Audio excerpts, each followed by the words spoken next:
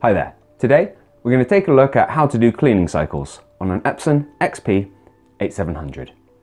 Now these cleaning cycles are a great way of dislodging congealed ink that may be on your printer's printhead and improving print quality. So starting from the home screen of the printer, we're going to drag this along until maintenance is exposed. Press to go into that. And here we have a couple of cleaning options. We have the normal printhead cleaning, which I'd recommend doing a couple times as your first port of call. If after doing a few of these cleans, giving it time to settle, and you still don't notice an improvement in print quality, power cleaning is worth considering, but it's more intense on the hardware, uses up more ink, but is a, a good way of dislodging anything that's a little bit more stubborn. I'm just going to go into the normal printhead cleaning. Obviously you need paper in there, start. Then we give it just a minute.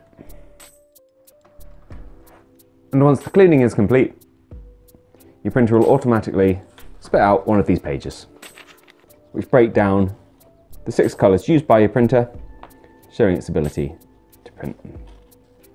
As you can see here, there's a bit of an issue with the magenta, Got some lines missing there, so we need some more cleans to pull that through. Now, as I mentioned earlier, the obvious next step would be to continue with a couple of those cleans and move on to the power cleaning if you really struggle.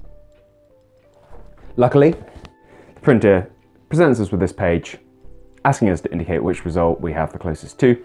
With the gaps on the magenta, I'm going to press on this one and then persevere with the, with the standard clean again.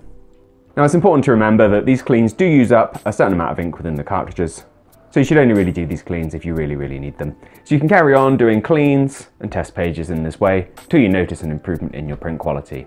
If you have a stubborn issue where the nozzle check is looking okay, but your actual prints still have a bit of fuzzing or some weird marks on there.